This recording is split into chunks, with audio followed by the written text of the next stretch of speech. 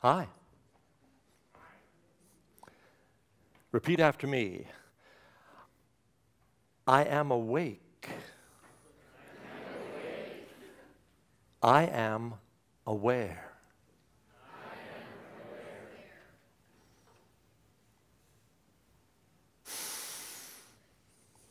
When I was 10 years old, I had a pet. Not a dog or a cat, I had a pet chicken. Oh, did you have a pet chicken as well? You find this humorous, do you, that I had a pet chicken? I had a pet chicken. The reason I had a pet chicken when I was 10 years old, uh, by the way, my father was in the army, so we lived in Hull, Quebec, Gatineau now, just across the river from Ottawa. And I was walking down Rue Saint Laurent, and I had a 25 cent piece. I found a quarter, and I had this quarter in my pocket, and it was burning a very big hole in my pocket. And I'm walking down this street, 10 years old, and I come to a pet store, and in that pet store was a big pen. This is Easter time, and inside of this pen were hundreds of little baby chicks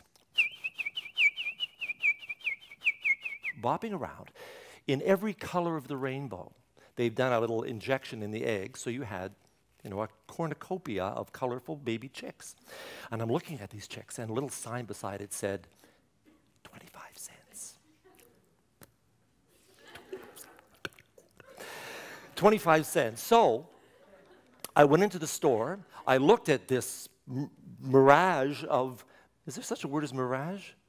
Barrage and mirage, that was a real thing. I looked at the baby chicks and I thought, what color do I want? Red. I'm going for a red baby chick. So I bought this baby chick. I took it home. I didn't put it in my pocket. I took it home. And I showed it to my mother, and she was very excited because uh, my mother was raised on a farm. We're from Mennonite background in southern Manitoba. And, uh, and she knows chickens, and she thought, well, it's a beautiful chicken, but one chicken's not enough. You really should have a companion for this chicken. So we went back and bought a little black one. So we had a black and a red chicken, little baby chicken. And they grew and they grew. We fed them. I was into the whole pattern of pet raising a baby chicken, as you can understand.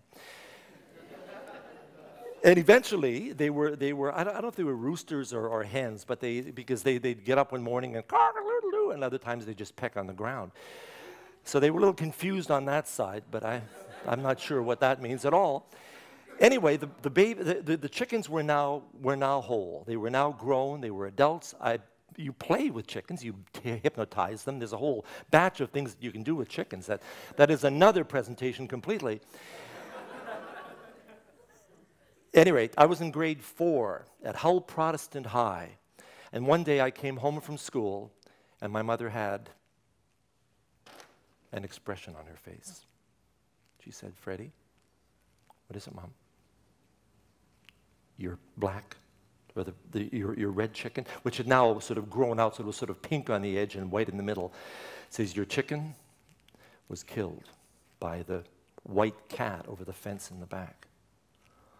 What? My baby so uh, here I am. I'm faced with, with the mortality of a pet. I took the responsibility of burying this, this animal. I went into the backyard, and we had this big bush off in a corner of the backyard. And I had a little shovel, and I had a little fossil that I had collected that was going to be the marker, and I crawled underneath. I got way down on my hands and knees, and there was a little opening there at the base of the, of the, of the, of the bush. I got down on my hands and knees, and I crawled all the way in, and I found a little spot clear, and I wiped it off, and I, I dug a hole, and I put the little body of the poor little chicken inside, and I covered it up, and I made the marker of the fossil. Had a little ceremony, and that was and that was that. The other chicken, we, we moved, uh, actually, we moved from Hull back to uh, Winnipeg uh, a few months later, and uh, I had given, with full trust and, and, and, and, and honesty and clarity, to the McNaughton family, who were church members as well, given it to them to, to carry on the tradition of, of raising chicken, and found out later, much later, that they had it for dinner the following Sunday oh, I was hurt. I was, I was seriously hurt. Anyway, So here was, I had gone through this process of chicken. I'm sure many of you have had different kinds of pets that you've had to deal with. Well, this was my journey with this chicken. Jump ahead 30 years. I get a phone call from CBC. Do you want to do a TV series? Sure. How? What do I do? How do I do that? They said, Well, think about it. Think about it. What would you like to do if you had your druthers of a TV series? I said, Well, I thought, and this is what I normally do when I think of a song, when I'm trying to create something, I'll go back in my childhood and I'll think of a moment that connected with whatever it is I'm wanting to write about or wanting to create about. And here I am thinking, well, I don't want a, some fancy you know, store or, or, or, walled kind of place. I want an open environment. I want a place where I can, I can feel alive and awake and, and aware the out of doors, but it's not the kind of place that you can just open a door and step in. This is the kind of place where you have to go on a journey because life is a journey, because being a child and growing from, from birth to adulthood is a journey that we are all going through. So here is the journey. You have to go across the field, you have to go over a fence, you may be balanced on a rock, you say hello to some of the animals, and finally, you lift up the branches. There's a log. You get way down on your hands and knees, not unlike crawling under a bush to bury a cat, to bury a dog. I wish I'd buried the cat, but more like it. But I was down on my hands and knees going in to bury my chicken. And that memory had come back to me as the inspiration for the opening of Fred Penner's place. Here I was crawling through that log into another world. And then I'd crawl through the other side and and then it would be greeting the audience, greeting the children, greeting the people viewing the energy and sharing the songs and the stories. And I was always amazed at how, how a memory like that could come back to me.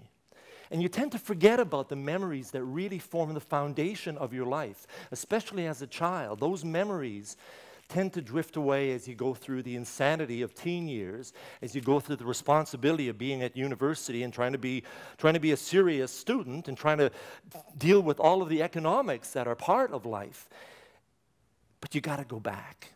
You've got to go back and find those little essential moments of your life that fit inside of you, that hold on to you with an absolute grasp, but you forget about them. So you got to dig down and you got to bring them out and allow those. You have to allow those to become the creative parts of your life.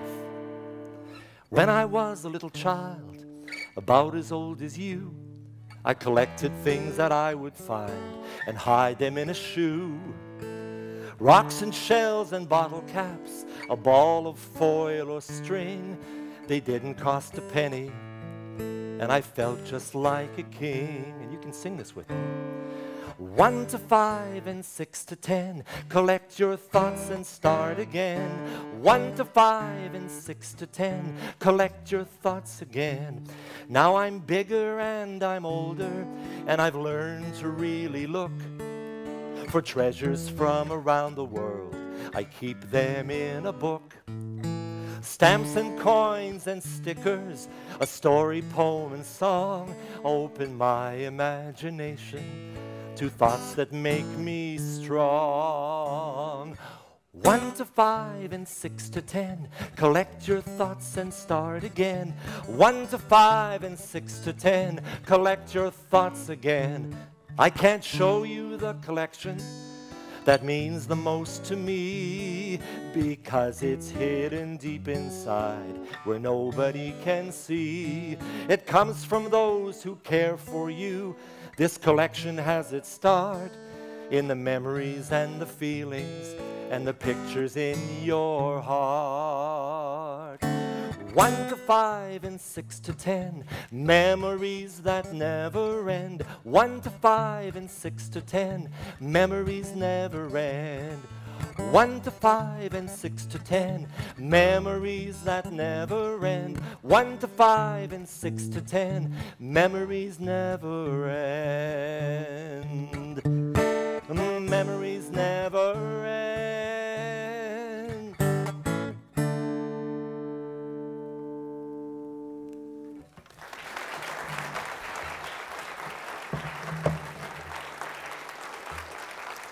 So that is the essence of life, are the memories that we have, that we hold on to, that we bring forward into our, into our next life, the memories that we make, the memories that we share, the memories that keep us awake and aware of who we are and how we fit into this pattern. And one of the strongest memories, certainly for me, is family. And when I was growing up, I had a sister, her name is Susie. She was a Down syndrome child. And she was born oh my goodness, she was born in 1950, mid 50s, and she had a serious heart murmur that was inoperable. And so my parents had the option of doing the operation or letting her live to 12, 13 years old. The operation was maybe a 50 50 chance. That wasn't good enough odds for my parents. So we had Susie for, for 12, 12, 13 years, and she was, you know, special needs children in your world. I know that you know them. And I know that when you are with them, you check your ego at the door and you come in for the hug. That, that, that, hugging scene was absolutely beautiful before because hugging is what it's all about, truly. So Susie was this beautiful, beautiful child who loved music. And as a teenager, 13, 14 years old, for me, watching her get absorbed in music, she would put on a record she could do that. Of West Side Story, that was her favorite of all music. And there's some just beautiful, passionate songs and just great, great music. And she would sit there in front of the in front of the record, and she had she I think it was triple jointed, and she'd sort of sit there, her legs on the side. Her total energy, you could see every pore of her being is absorbed in this music.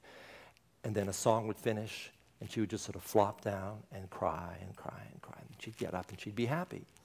Watching this as a, as a child, as a young man, as a teenager, was unbelievable for me. It, it really formed one of those benchmarks of life that gave me a sense of that's what music is all about. That's what ultimate the memory of that is all about is being able to hold on to that and allow it to affect who i became as, as an adult um, the, the music for, for special needs children is uh, absolutely a key for me. And I went to the National Down Syndrome Conference in Ottawa years ago.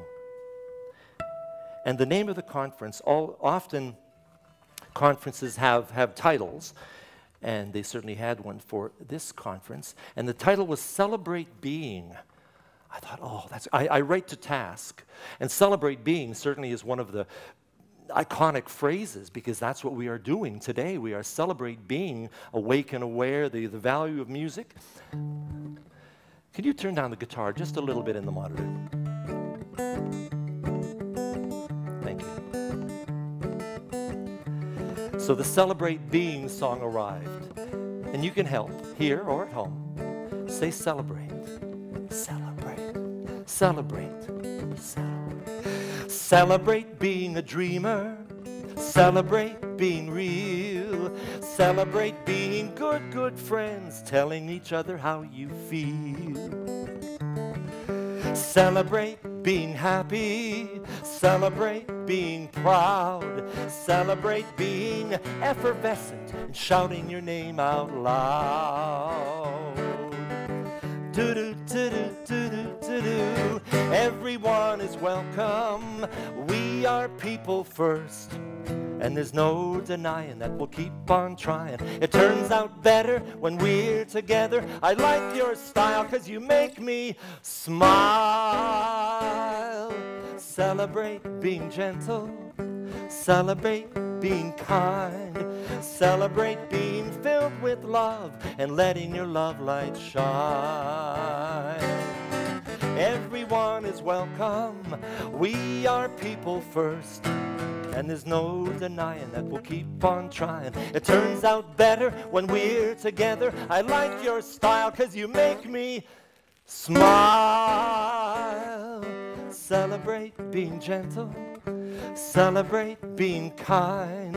Celebrate being filled with love and letting your love light shine. Celebrate being filled with love and letting your love light shine. Letting your love light shine.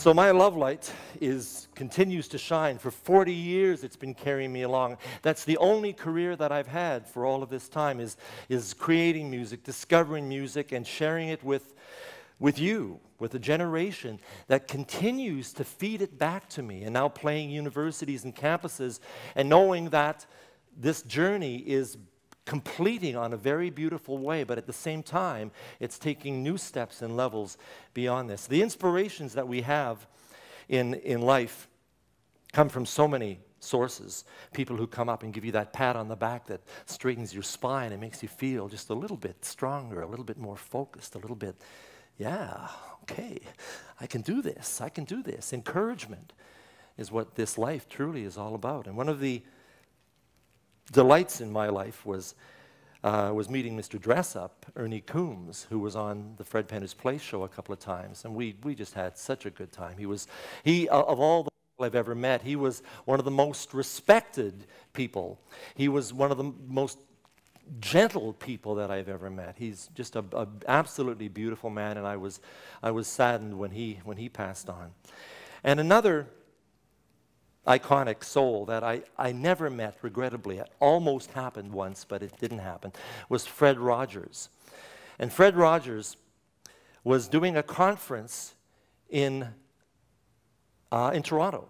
He was in a 10,000 seat venue on Front Street, the big convention center. And this beautiful little man walked up on stage in front of 10,000 people, and he spoke for 45 minutes with absolute clarity not a single um, button. There was no pause in his thinking. He, was, he knew exactly what he was going to say. He got up there and he went through just so many beautiful moments, and, and it was, you, you were woven into his spell. And then he told a little story which, which sort of stopped me in my tracks and which I, I, I am quite honored to pass on to you right now. And again, it is about the essence of memory that I encourage you once again to, to dig deeply inside of yourselves and find those memories that the earliest memory perhaps, talk about it with each other and carry those forward to your creative world. Awake and aware. So Mr. Rogers was saying that he had been visiting a friend, and the friends had two children. One child was four years old, and there was a, there was a, new, a newborn. He was about a year, a year or so old. And the four-year-old was saying to the family, saying to the parents, can I go talk to my brother? And they said, sure, go ahead. Talk. he said, no, no, no, I, I want to talk to him by myself. And they thought, well, that's, that's odd. Oh, well, well, we, would like to, no, no, just by myself. So obviously he had an agenda going, so they, they finally allowed him to do that, but still keeping an ear at the door. And they, he walked in, the little boy walked over to the crib. Very carefully walked over to the crib. He looked at his little brother and he said, Tell me what it's like. I'm beginning to forget.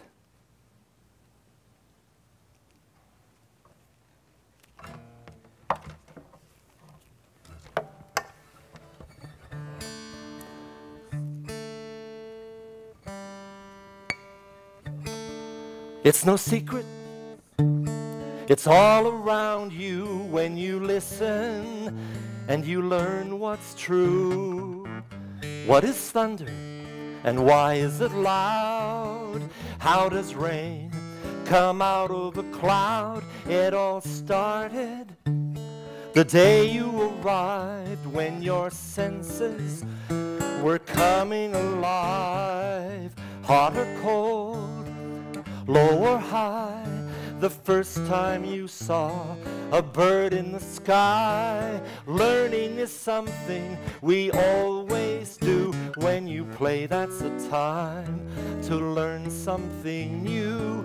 Measuring, building, and figuring out and discovering what life's about. Making music is a joy I'm surrounded by a symphony. Melodies floating inside my head, saying, Come out and play before it's time for bed. Learning is something we always do. When you play, that's the time to learn something new, measuring, building, and figuring out and discovering what life's about. Learning is something we always do when you play, that's the time to learn something new, measuring, building, and figuring out and discovering what life's about.